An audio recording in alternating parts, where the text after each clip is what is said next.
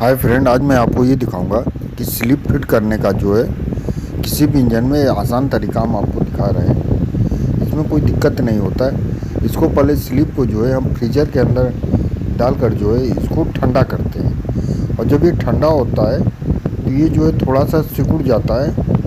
और जब सिकुड़ जाता है तो फिर आराम से जो है, केवल इसको ब्लॉक पर रख कर हम हाथ से, हल्के हाथ से जो है, इसको प्रेस कर देते हैं।